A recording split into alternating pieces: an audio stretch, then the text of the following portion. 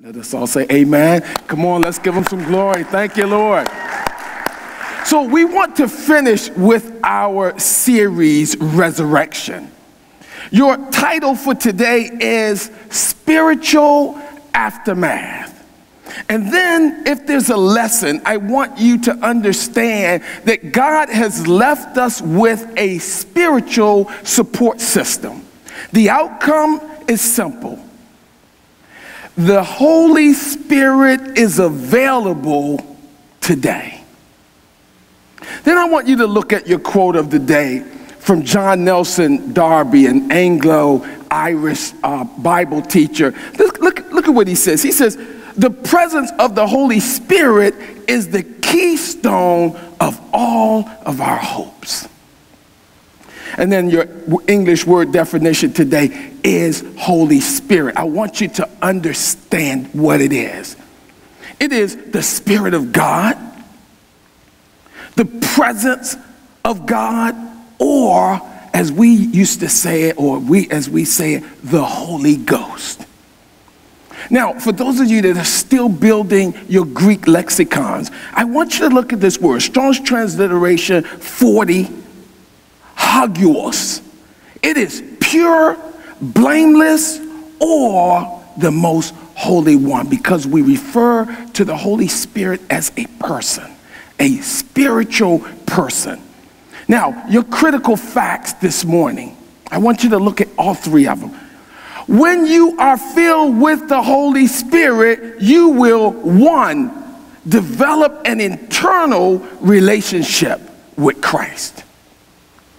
Two, you will receive power. And three, you will care more about the things of God than the things in the world. So last week, I had you in Luke, the 23rd chapter. I explained to you that Luke is a doctor and a historian. According to Colossians 4:14, Paul recognizes him as a physician. He's this great historian of the day. We believe that he writes the book of Luke somewhere around 60 AD and somewhere around 63 AD, between 63 and 70, he writes the sequel, which is Acts. So if you're ever reading the Bible and you want to read this together, you would read Luke and then you would read Acts. He is the only Gentile to pen in the New Testament. He talks about the life of Jesus, what takes place during the period when Jesus is walking on earth, and then he talks to us about the spiritual aftermath. If you will go with me to Acts, the first chapter, first verse.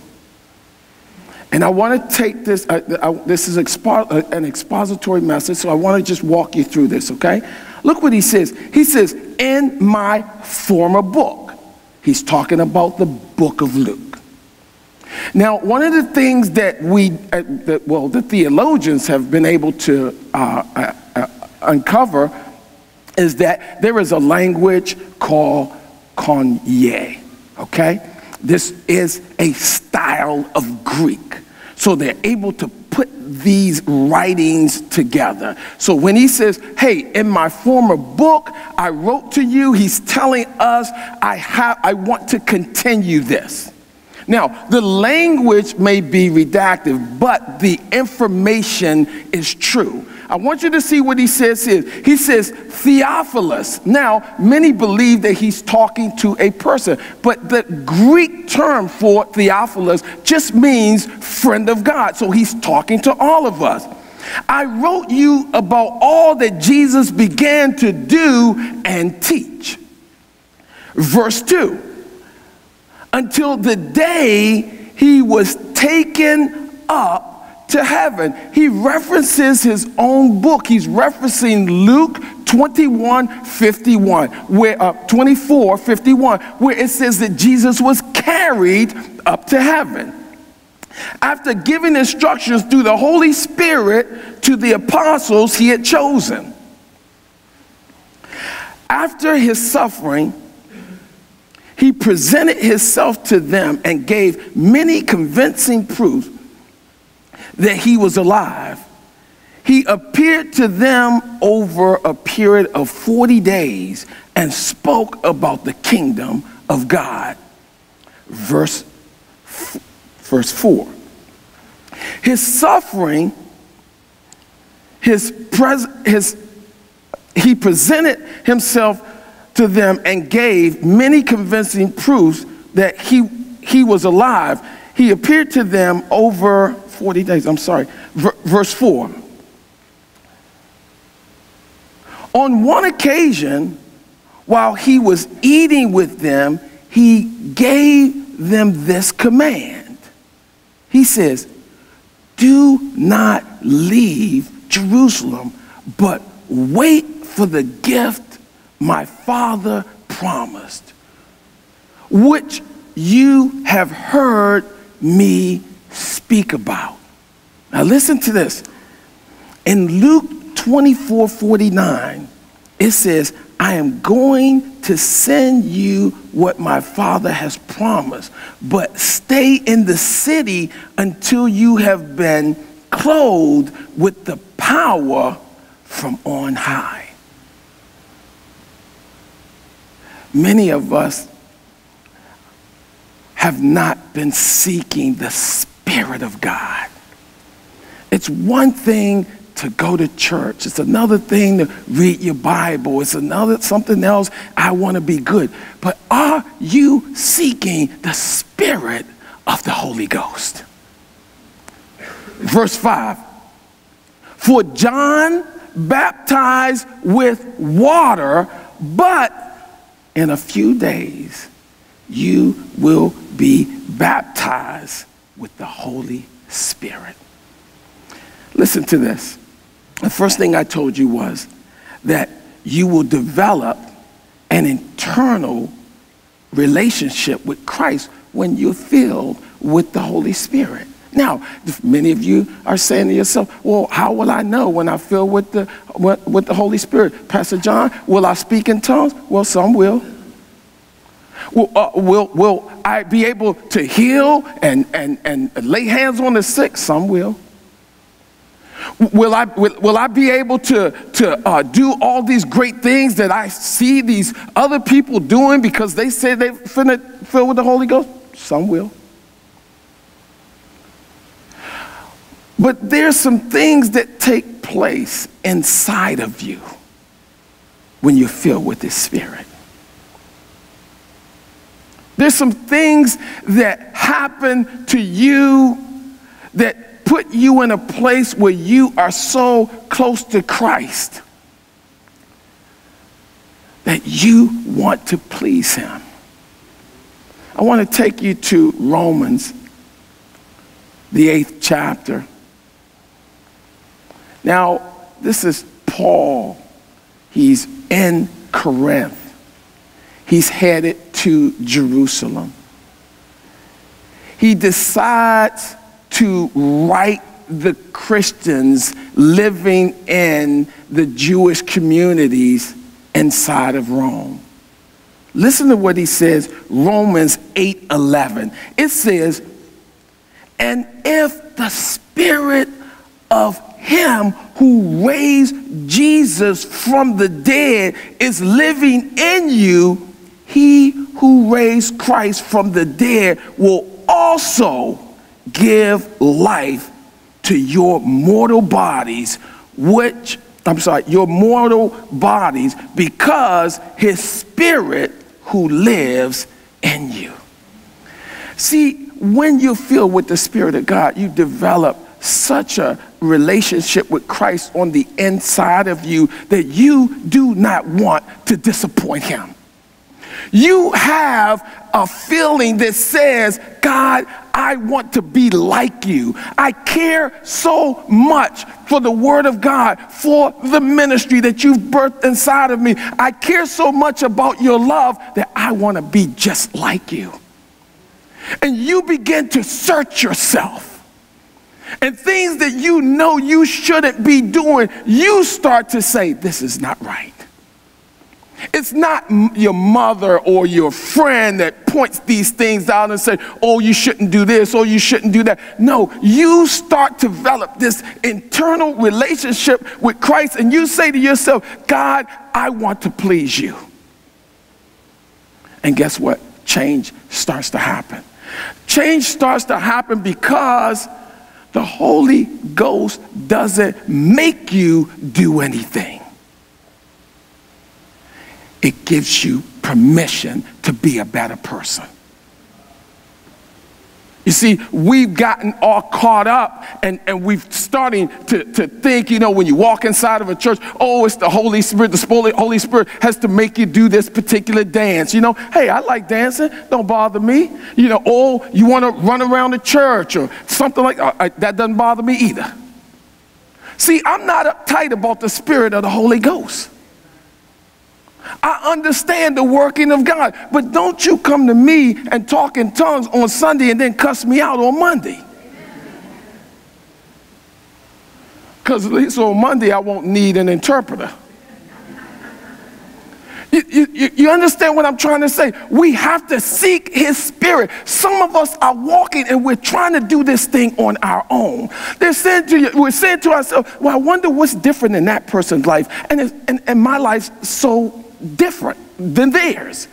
You, you kind of say to yourself, well, wow, it's something about him though. Oh, she seems always happy. You know what? There are people that have said, God is everything. And I don't care what people think about me.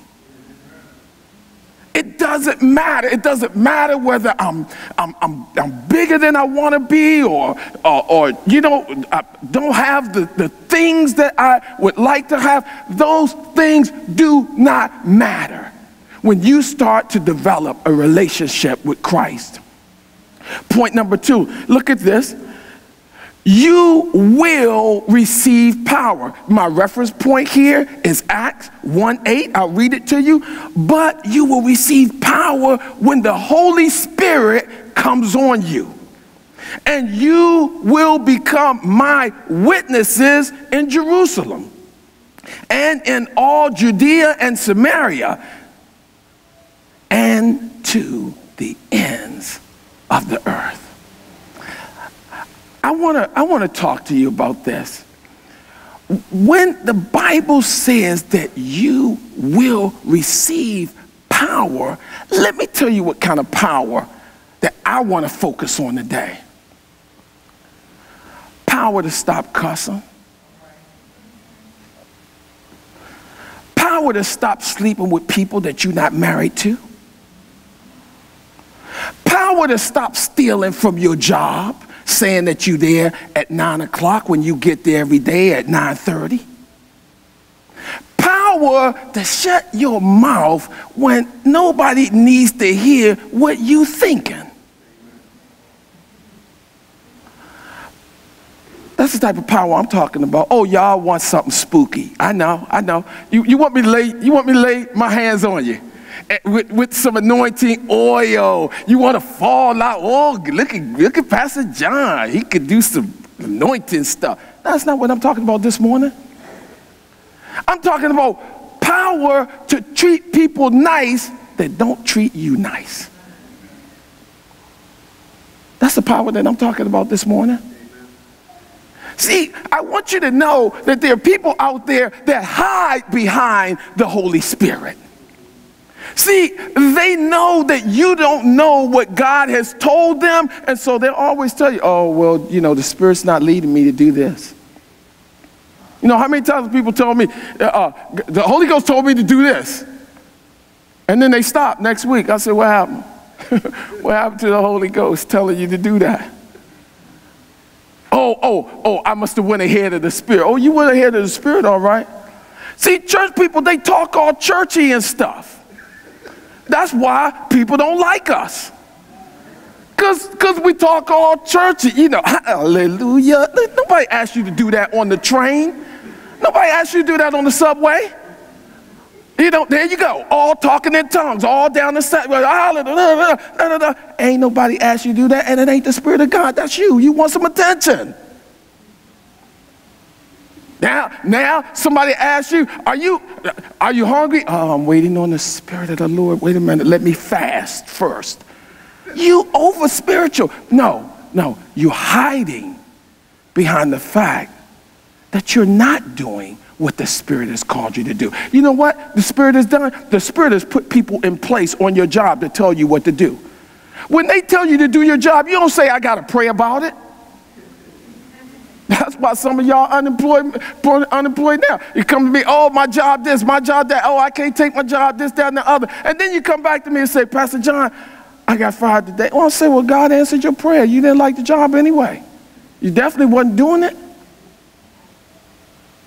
That's the power that I'm talking about. I want you to see your third critical point. Listen to this. It says, You will care more about the things of God than the things of the world. Look at the reference point that I want to give you. I want to set the stage. I mean, this is huge, okay? Paul in Acts 21 13, he says this, and I'll, I'll explain it to you. It says, Then Paul answered, Why are you weeping and breaking my heart?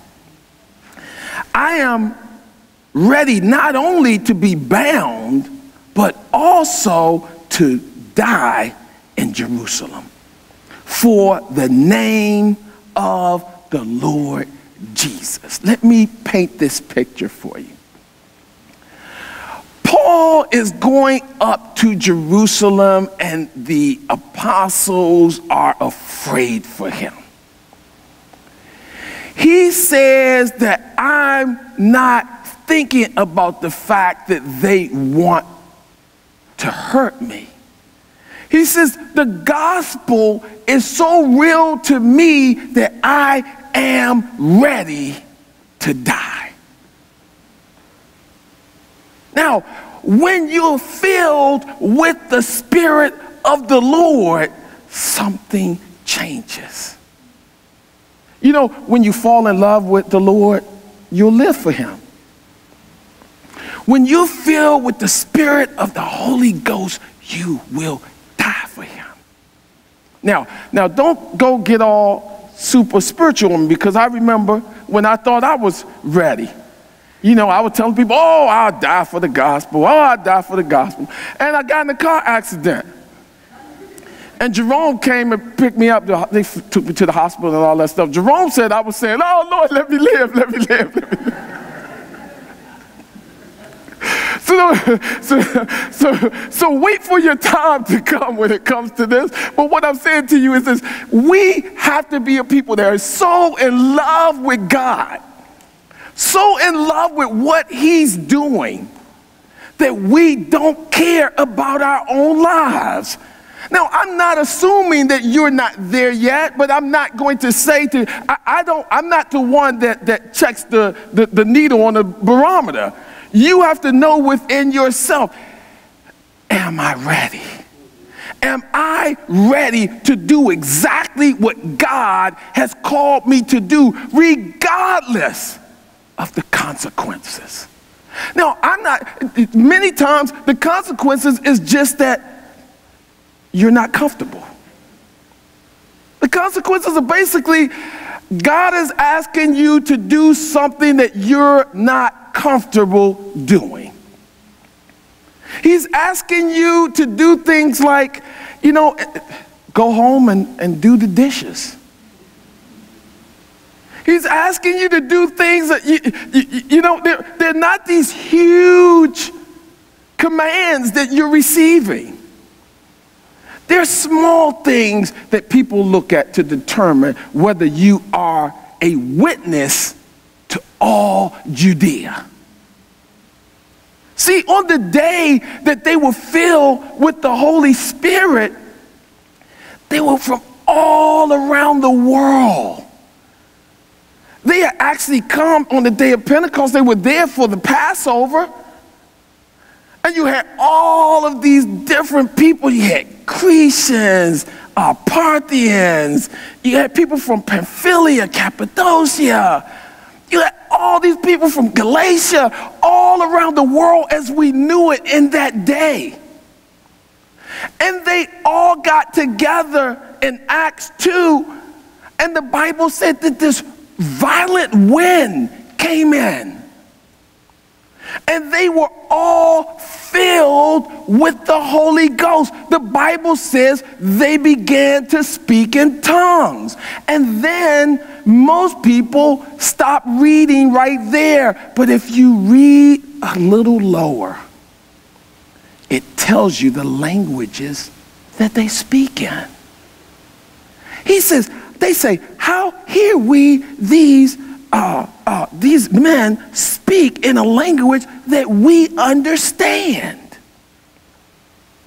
And, and to the point where they even thought that they were drunk. They were filled with the Spirit of the Lord.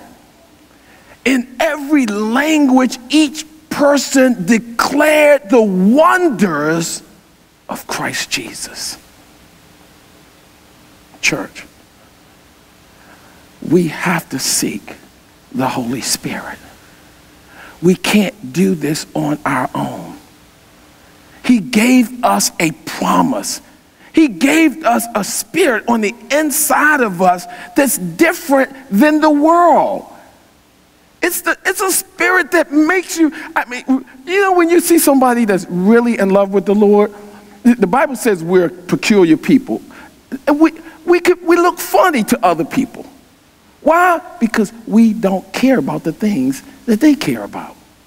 You know, when you get ready to go on an assignment for God, sometimes you might forget to put your teeth in your head.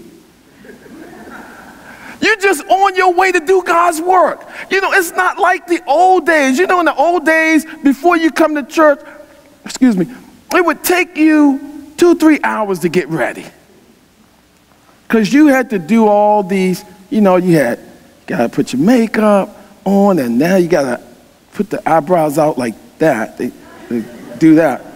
Excuse me. And, and, you know, that has to be done perfectly, and uh, all the little stuff, you got to put your girdle on and make you look slim and everything.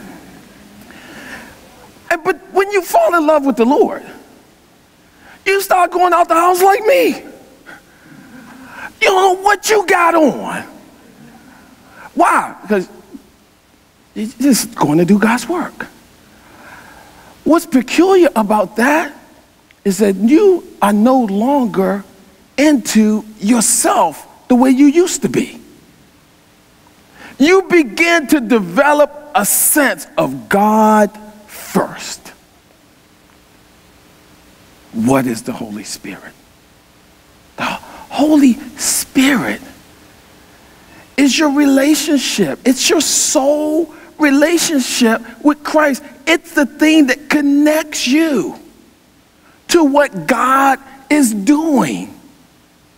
It's the thing that says to you, we're one. Now, you see people, they, you know, they, they say, hey, I'm, I'm filled with the Holy Spirit, and then they, you know, they want to do, tell you how they discern this, and how they, you know, the Lord spoke to them about this and that. I want to show you something.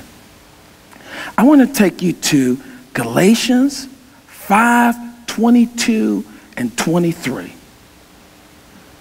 Because there is some evidence of the Holy Ghost that's written in this book that you cannot deny when we start to talk about the Holy Spirit. See, you just can't convince me that because you spoke in an unknown language that that means that you filled with the Holy Spirit. Because I've seen people imitate that language that will tell you, I'm not even saved. I'm, t- I'm sorry to tell you this morning that that is not the thing that's going to tell me that you're saved or not. That's not the thing that's going to tell me that you'll feel with the Spirit. This right here is. I'll know if you feel with the Spirit, but the fruit of the Spirit is love. Hey, if, if you don't have love in your heart, which is what Jesus is all about, then it's hard for anyone to believe that you feel with the Spirit. Look at this joy It is hard to have love without having joy. I mean, joy is really the aftermath of love. When you're happy, you know how it is. Come on, can I take you back to when you used to be in love? Some of you, y'all know you still are. But you remember what that was like, you know, talking on the phone all night, and you're not even saying anything, you just got the phone. And there you have their attention, and you're just whispering sweet nothings. Right? And when you finally do hang up the phone, you have this feeling of joy like, wow, I'm in love. Come on. People, y'all, y'all, y'all know what it's like to be in love. I mean, come on, I'm talking your language now. And you have that feeling like, wow, you know, and there's a joy that comes along with it. Now, if you're in love and, and you don't have any joy, counseling sessions next week. But you, you love, joy, and then what? Peace. Peace is a sigh of relief. You know what peace is? It's the security of knowing that everything's gonna be okay. You know, you've been through some storms, and some of you all kept the faith because you knew that even if it didn't turn out my way, it would turn out the way God wanted it to. And you rested in that. Some of us, we didn't rest in that. What we said was, hey, God, it's got to be my way in order for it to be right. And so what happens is we need this love, we need this joy, we need this peace. And then I want you to look at this forbearance, patience, it's discipline. You know what? I, I, I got to tell you this. You know, some of y'all like to tell people off a lot. You say, "Oh, I gave him a piece of my mind." Oh, I told you don't want me to. You know, you know that that good sister, the good sister that go to church all the time. She's hallelujah on Sunday. She'll tell you behind off all week long, right? And she will get you straight. Forbearance allows you to say, I'm not going to say what I'm thinking. It won't help the situation. What I'm about to say right now could, could, could ruin the relationship forever. Many of us miss this part because you think that if you say something that's true, that you did God a favor or something. You know, like like you're not the weight police. So why do you feel it's your responsibility to tell everybody that they fat? Nobody called you for, uh, to, to do that particular job. We need to keep some of our thoughts to ourselves. Sometimes when people call you on the phone, they just want to talk. They don't want you to fix it for them. You know, I have a habit of when, whenever my friends would call me on the phone, I usually fix it for them. Be quiet, whoever that is laughing. Whoever that is, you know, I would, you know, I would get on the phone. They would say, "Oh, such, such, such, such, such, such, such," you know, and I would try to fix it for them. So I remember one night my son came in and he was telling me all this stuff, and I was, it was getting juicy too because I was gonna fix it. And he would say, "Dad, I don't want you to fix this for me." I was like, "Oh man, this is gonna be hard." And I listened to him. I listened to him to about three or four o'clock in the morning. I just listened. Now, you know what I was going through because I was new at this. I was like, oh, I can fix that in a hurry, right? it's like, oh, that part right there, oh, I know exactly what to do. I listened. And then I began to try this. I said, you know what? First of all, the answers that I would have given, I, I have no proof that they actually work the, the, the things that were being told to me, he already understands that what the Bible's position on this is. And so I would listen. Now, the hardest part for a parent is when they tell you what they're doing wrong, right? And then you you, you made your commitment. You're like, oh, I'm just going to listen to you. You're like, boy, you did that, right? But forbearance is something that you have to practice It's something that you have to say, okay, I'll do good. And, and you'll do good one week, and some weeks you won't do that good. Then he says this look at this. He says, kindness. I know some Christians who are not kind. You know, I went to a funeral and, you know, lady was like, over there. I walked in the door. I walked in the door. I ain't gonna tell y'all the name of this church. I walked in the door, the lady said, over there. And, and so, you know, she was, you know, she was a bad sister. I was like, shoot, I better do what she said, because I don't want to get beat up at a funeral, right? So I did what the lady said, and I said, well, I'll find another sister over there and let her know that I'm the person that's going to do the eulogy. now I walked over and told her, I said, hey, ma'am, I, I'm going to. She said, over there. I was like, wow. You know, I finally ran into somebody that could, you know, and told them that I was going to be doing the eulogy, and they told me, over there. Crazy. Boy. I told I, I told I never told anybody the name of the church because I those people to me don't necessarily represent that church because I know the pastor there. But boy, they were not. And look at this. Look what he says. He says, goodness. Do you understand that as people of God, we should be doing good?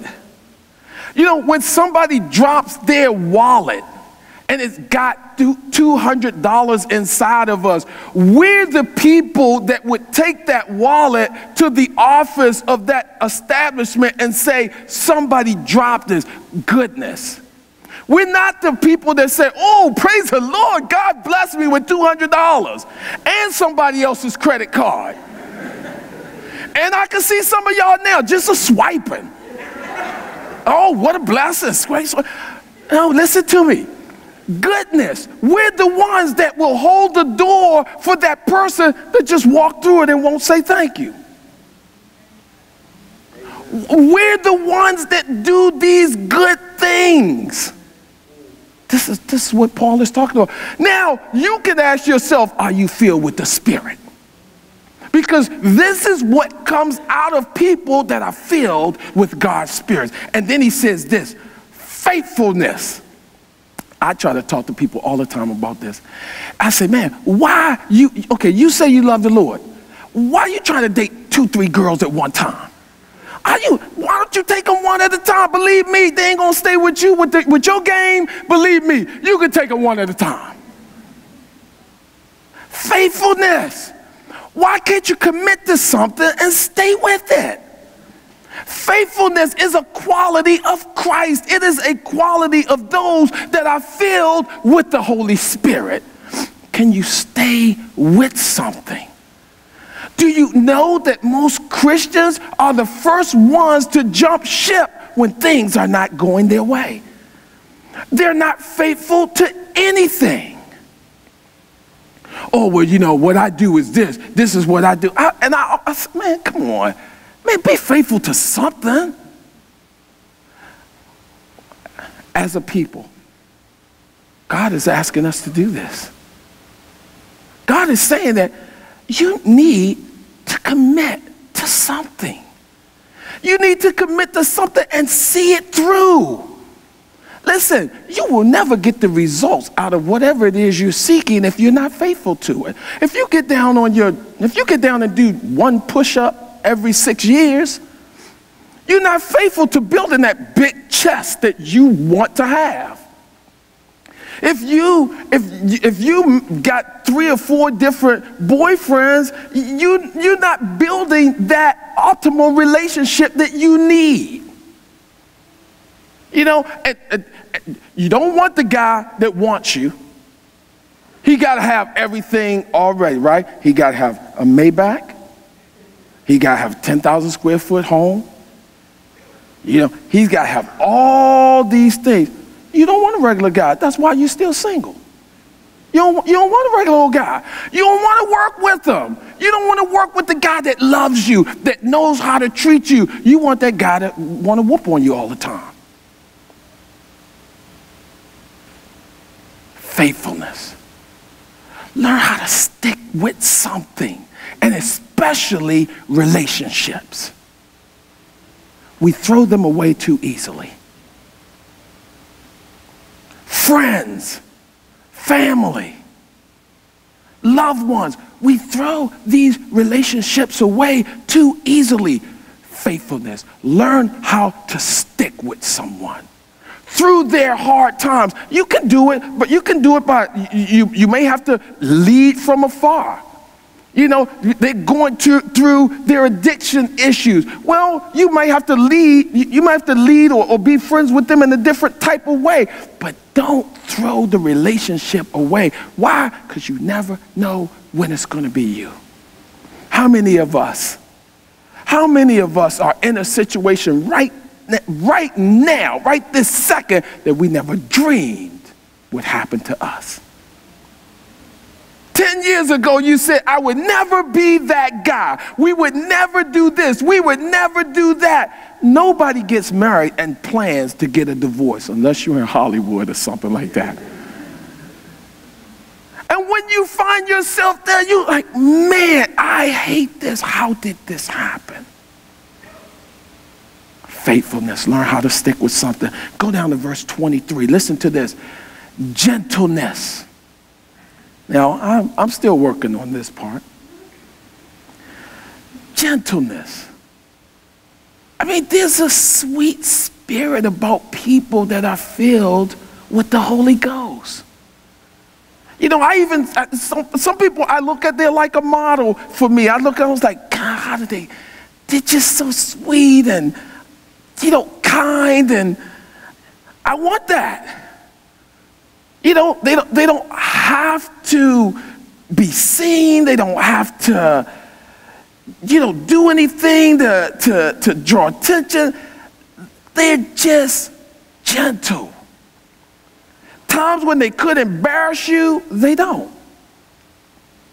You know, you, you go up, you go up, you say, hey, I want this done. I want that done. Y'all better take care of that, right?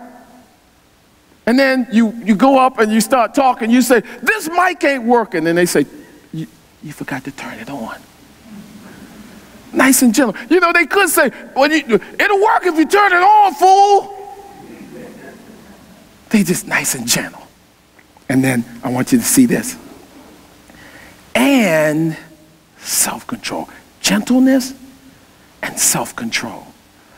We lack self control. So many of us, we cannot control ourselves.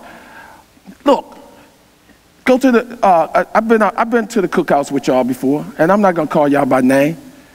Three hot dogs, slab of ribs, potato salad, coleslaw, plate about to break. I was like, have some self-control. Just get the hot, get one hot dog and then go back five times. Have some self-control. You know, you don't have to look at every woman because she's wearing some short stuff. Control yourself. I mean, you, you got, all you're gonna do get smacked in the head by your wife. You know, oh, Pastor, it just, uh, I just can't, I gotta see it. I gotta see it. Control yourself. We need it. Look at this. Against such things, there is no law. Put it, I'll put it all together for you so we can go home. But the fruit of the Spirit is love, is joy, peace, forbearance, kindness, goodness, faithfulness, gentleness, and self control. Against such things, there is no law. I'm going to pray with you. My prayer today is that you will receive the Holy Ghost.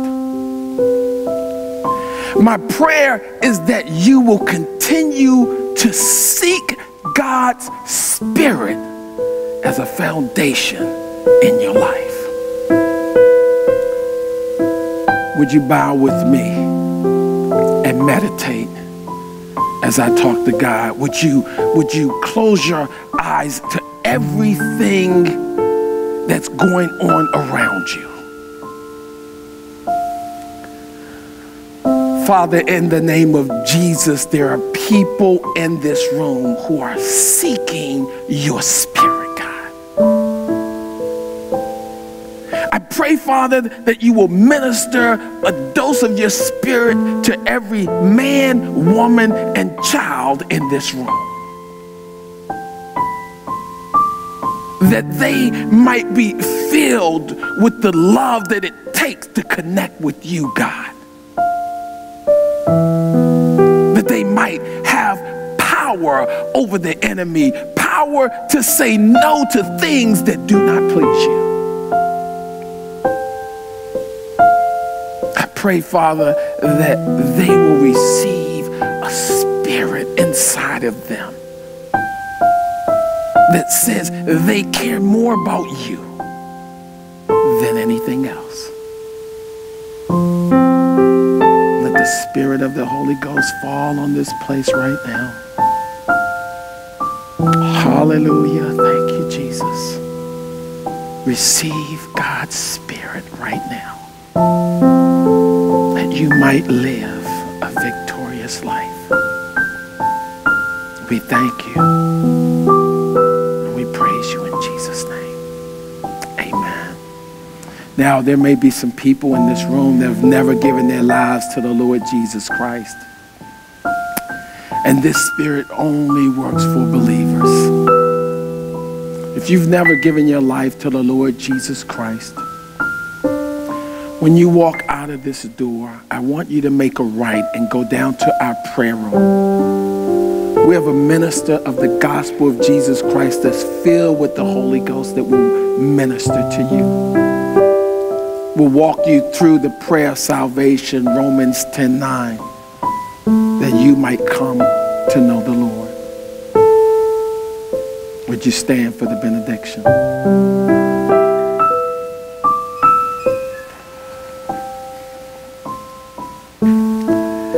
Now to a God who can do anything, a God who loves us, who allows us free will. To that God be dominion and power forever.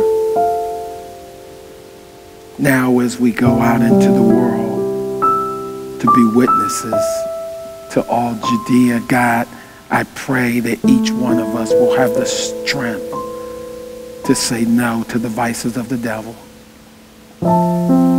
Give us a spirit of kindness and gentleness, Father, starting this day, God. Give us a soft answer, Father, to turn away wrath. Help us, Lord God, to be strong workers during the week, that we might please you. We thank you for this and we praise you let's give God some glory.